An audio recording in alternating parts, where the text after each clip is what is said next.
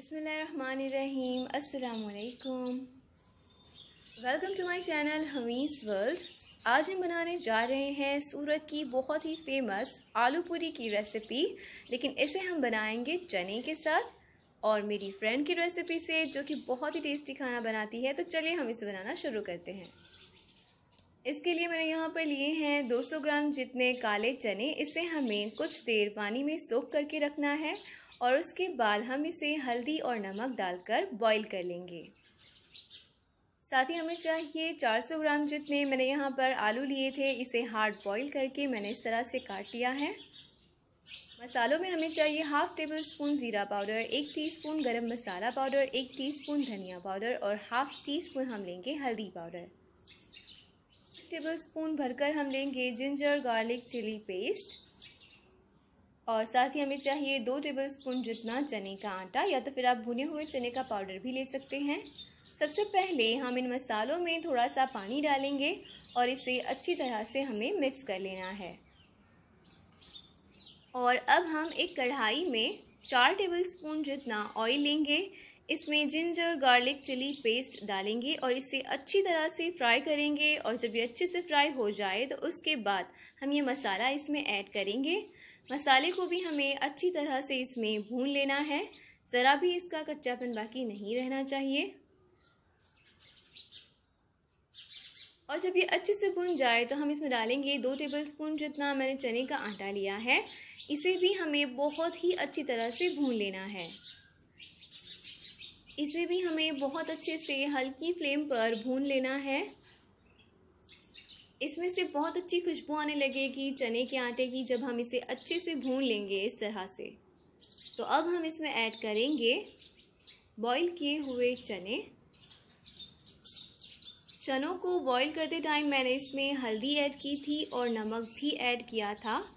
इसके फ़ौर बाद ही हम डाल देंगे बॉईल किए हुए आलू। इसे थोड़ा हम मिक्स कर लेंगे। और अब मैं इसमें से थोड़े चने निकाल रही हूँ, ताकि मैं इसे पानी डालकर अच्छे से पीस लूँ और इसका पेस्ट बन जाए, जो कि हमें चाहिए बाद में इसकी थिकनेस के लिए। और अब हम इसमें ऐड करेंगे हसब ज़रूरत पानी। पानी हमें इतना ऐड करना है जितनी हमें ग्रेवी इसमें चाहिए। मैंने इसमें तकरीबन पौना ग्लास जितना पानी ऐड किया है और अब हमें इसे बॉईल देना है।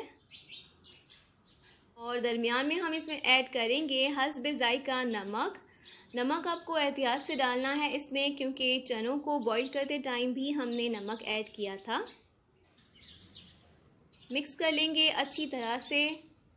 और अब हमने जो चने को पीस कर जो पेस्ट तैयार किया था ये भी हम इसमें ऐड करेंगे। इससे हमारी चने वाली जो ग्रेवी है, ये थोड़ी सी थिक हो जाएगी।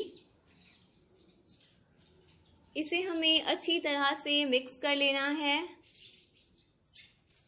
ये जो हमने ग्रेवी रेडी की है, इसे आप इसी तरह ऐसे ही खा सकते हैं, इमली का पल्प डालकर और धनिया और पुदीना डालकर।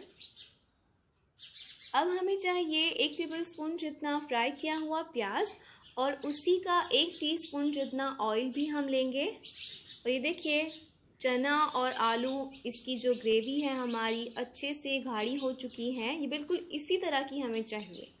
और लास्ट में हम इसमें ये डाल देंगे फ्राई किया हुआ प्याज और बस थोड़ा सा तेल। इसे डालकर हमें इसे ज़्यादा नहीं पकाना है। इसमें एक उबाल भी आ चुका है। बस इसे हल्का सा मिक्स कर लेंगे हम।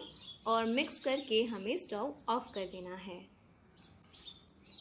नॉर्मली सूरत में सूखी मटर की आलू पूरी मिलती है, लेकिन एक जगह ऐसी है जहाँ पर चने की आलू पूरी भी मिलती है।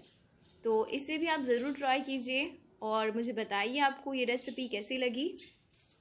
इसकी गार्निशिंग के लिए हमें चाहिए प्याज, धनिया और हरा प्याज चॉप किया हुआ। साथ ही हमें चाहिए थोड़ी सी क्रंचीनेस के लिए फ्राई किए हुए पुर। और इसी के साथ हमें चाहिए फ्राई किए हुए प्याज। और इसी के साथ चिली गार्लिक ऑयल ऑयल में आपको क्रश किया हुआ गार्लिक डाल देना है, इसे अच्छे से भून लेना है और फिर जब तेल ठंडा हो जाए तो इसमें आपको मिर्चें डाल देनी है। और साथ ही हमें चाहिए कोकुम की चटनी, इसको आप मिर्चें और नमक डालकर पीस लें, पानी डालकर। और साथ ही हम लेंगे पूरियाँ। इसकी रेसिपी मैंने अपनी पहली वीडियो में बता दी थी, आप वहाँ से देख सकते हैं। सारी चीज़ें हमारी तैयार है तो इसे हम बनाना शुरू करते हैं। तो प्लेट में हम पूरियाँ बिछा देंगे इस तरह से और ऊपर से हम डालेंगे चने और आलू वाली ग्रेवी और इसके ऊपर हम डालेंगे कोकुम की चटनी और साथ ही हम डालेंगे चिली गार्लिक ऑयल। इसके बजाय आप ग्रीन चटनी भी डाल सकते हैं, उसका टेस्ट भी बहुत अच्छा आएगा। और साथ ही हम डालेंगे ये फ्राई किए हुए प्याज। इसके बाद हमें डालना है इसमें ये फ्राई किए हुए पुर इसको भी आप अपने टेस्ट के हिसाब से कम या ज़्यादा कर सकते हैं। और लास्ट में हम इसमें डालेंगे प्याज, हरा धनिया और हरा प्याज। तो तैयार है बनकर मज़ेदार सी चने वाली आलू पूरी, जिसे मैंने बनाया है अपनी फ्रेंड अमीना की रेसिपी से। तो अगर आपको मेरी रेसिपीज़ अच्छी लगती हो तो ट्राई करते रहिए और मेरे चैनल को सब्सक्राइब करिए और मेरी वीडियोस को शेयर कीजिए अपने फ्रेंड्स और फैमिली मेंबर्स के साथ। जजाकल्ला खैर।